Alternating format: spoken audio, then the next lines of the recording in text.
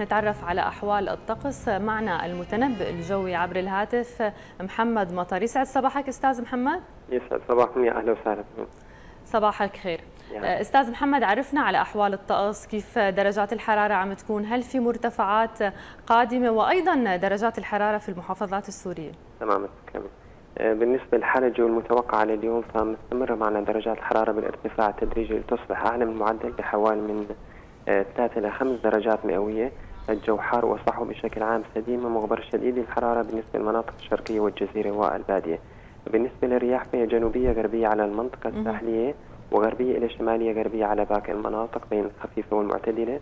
مع هبات نشطة بعد الظهر تتجاوز سرعتها 60 كم في الساعة خاصة بالنسبة للمناطق الوسطى والشرقية تثير الغبار في المنطقة الداخلية. البحر خفيف ارتفاع الموج. طبعا مستمرة معنا هذه الأجواء ممكن حتى ما بعد منتصف الأسبوع القادم. ثم تعود درجات الحرارة الانخفاض آه بالنسبة للمناطق الغربية بينما تبقى على ما هي عليه بالنسبة لباقي المناطق. طبعا رطوبة نسبية عالية خاصة بالنسبة للمنطقة الساحلية عم تعطي إحساس بدرجات حرارة أعلى من الفعلية بحوالي من 5 إلى 6 درجات مئوية.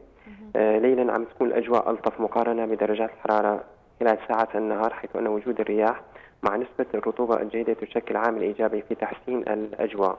آه تحذيراتنا هي عدم التعرض لأشعة الشمس خلال ساعات الذروة لفترات طويلة خاصة بالنسبة لكبار السن والأطفال عدم إشعال النار خاصة بالنسبة للمناطق الزراعية والحراجية والغابات تدني مستوى الرؤية الأفقية بسبب الأتربة المثارة بفعل الرياح خاصة بالنسبة للمنطقة الشرقية والجزيرة والبادية.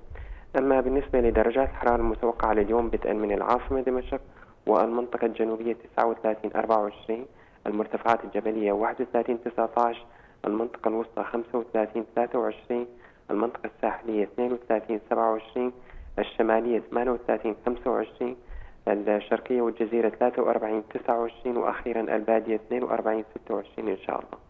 إن شاء الله. يعني أستاذ محمد طبعا نشكرك على كل هي المعلومات اللي قدمت لنا إياها مثل ما قلت في شوية ارتفاع درجات الحرارة بنتمنى السلامة والصحة للجميع وينتبهوا على نفسهم من درجات الحرارة المرتفعة. شكرا لك أستاذ. شكرا لكم يا أهلا وسهلا. هلا فيك.